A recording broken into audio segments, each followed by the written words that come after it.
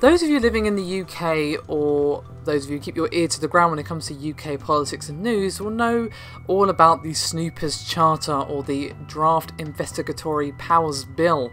Now, buried in those some 300 pages are some very worrying things indeed. The first of which is the Technical Capability Notice, Section 189. And despite the fact that it sounds inoffensive enough, it gives the UK's Home Secretary almost unlimited power to impose an obligation on any relevant operators, basically subject to the requirement that the Secretary of State considers it reasonable to do so and it also has a proviso that says, quote, it is and remains practicable for those relevant operators to comply with those requirements. So this probably rules out breaking end-to-end encryption, but would still allow the Home Secretary to demand that companies add backdoors to their software and equipment. However, if that wasn't worrying enough, George Danezis, who is an associate professor in security and privacy engineering at University College of London, has pointed out that the Snoopers Charter only gets worse from there. The Investigatory Powers Bill could also make it a criminal offence, punishable with up to a year in prison and a fine for anyone involved to reveal the existence of these backdoors in any circumstances. That's section 190 in brackets 8, and yes, this entire thing is linked in the description below this video. So, George said, quote, secret backdoor notices, I mean technical capability notices, will be issued, an enterprising geek that wants to open a debate about them will either know nothing about them or be breaking the law. There will be no debate about what kind of backdoors or when they should be used, all will be happening in total secrecy. Now, there's also similar gag orders that would apply to other main elements of the Snoopers Charter, such as the interception, equipment interference, hacking, and retaining communications data. And gag orders will also be in place for bulk communications data collection. Now this sounds pretty problematic and George agrees and he says, quote, this goes way beyond protecting specific operations since the acquisition is performed in bulk and cannot betray any specifics.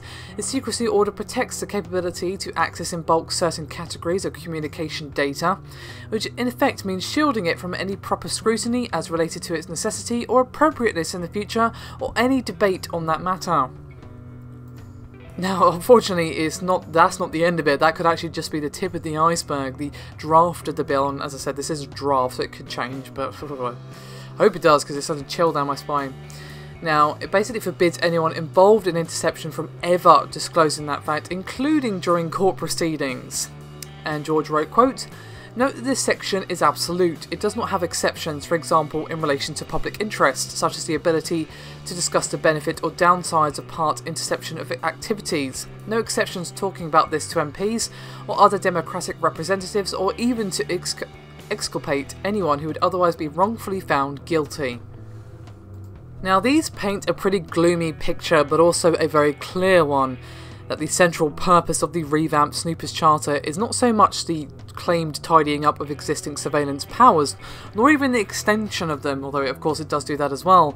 At the heart of this proposed bill is something much, much more insidious, an attempt to make it impossible for anyone in the know to discuss any details of any surveillance activities that the government is doing ever and George rightly puts it, puts it rather, quote, the gagging provisions are a clear example that calls for mature debate around surveillance are mere rhetoric. The Securocrats want one last discussion before making a discussion about surveillance simply impossible.